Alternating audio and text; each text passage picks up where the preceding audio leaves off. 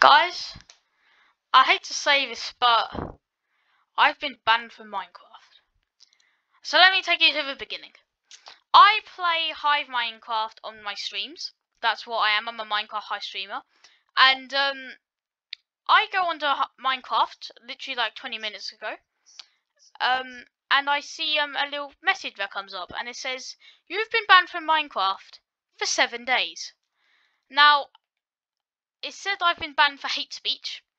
Um, and as you guys know, um, in streams I don't do hate speech, and um, I've only really play Hive when I'm streaming. When I'm not, I usually play with my friends on Roblox or something.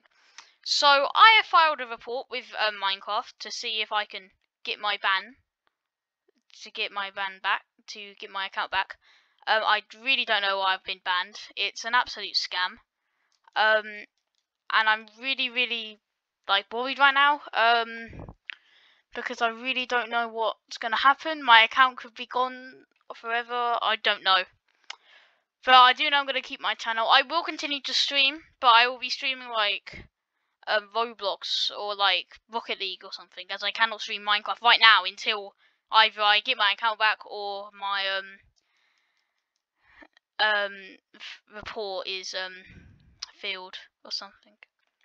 So unfortunately guys, right now I cannot really do much in terms of like getting my account back because like I've been banned for seven days because of hate speech and right now I'm just really shocked. So um guys if you don't really see like much from me at all this is why I'm just really shocked. If you guys could leave a like on this video just in case um just to make me feel a bit better it would be really appreciated.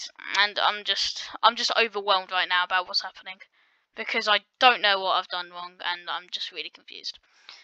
Guys, this is just a quick announcement video, so thank you for watching and I may not ever see you again, but I'll see you again soon. Peace.